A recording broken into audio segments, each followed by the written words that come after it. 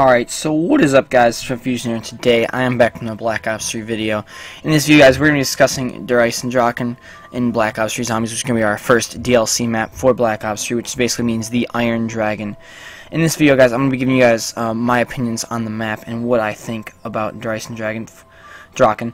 Before I start, uh, guys, uh, I did get my computer back, so uh, regular streams will be back, and YouTube videos will be back with, you know, gameplay and all that stuff. Sorry, last week and a half I've been dealing with uh, my computer not being here, but it's back, guys, so...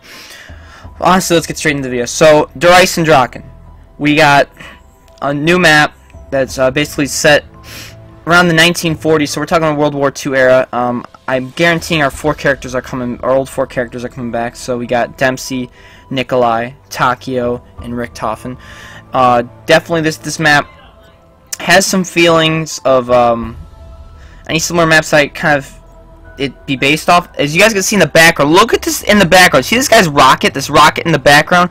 Now, could Ascension be like right near this this map, it, it's not possible because if you guys look at the, the upper right, there is seems to be a rocket.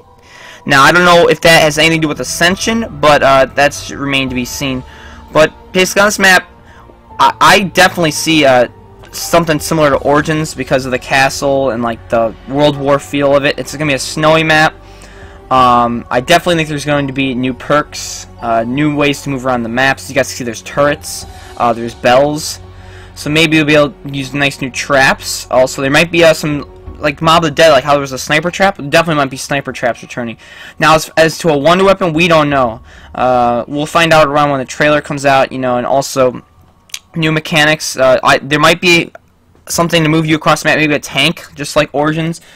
But uh, let me know in the comments what you guys think about this. Uh, Der Eisendrachen is coming out in January of 2016, first on PlayStation 4. So I really want to know, in, the, in, your opinions, what you guys think about this. So be sure to make a like and subscribe. Greatly appreciate. Let me know in the comments what you, you guys, your bold prediction of Der Eisendrachen. My bold prediction of Der Eisendrachen is basically that there's going to be a wonder weapon that we have never seen or fathomed or imagined before. Basically, what I'm trying to say is it's never been done before. Like, just like the Shadows of Evil 1, but it's to be fucking crazy. And you're to be able to upgrade it.